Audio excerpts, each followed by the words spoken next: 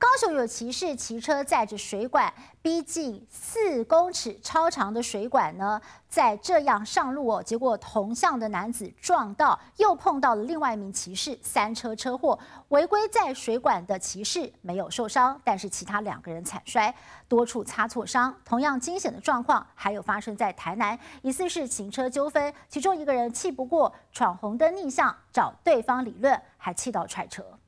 红长裤骑士骑车在水管，这水管有够长，骑在半路出事了，扫到别人，造成摔车。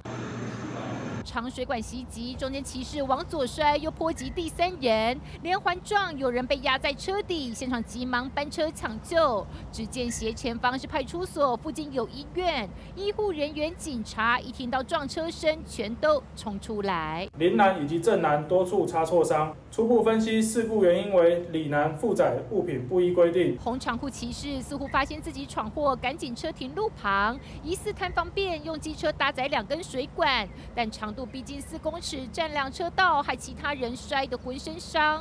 同样路上惊险，转往台南十字路口等红灯，前方黑衣骑士突然闯红灯，还逆向冲进车阵，找上一名白衣男，对方吓得汽车往路旁逃。只见黑衣骑士好怒，把车踹倒出气。远警到场时，双方当事人都已经离开现场。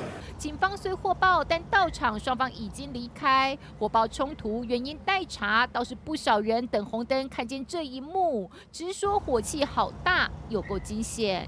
记者综合报道。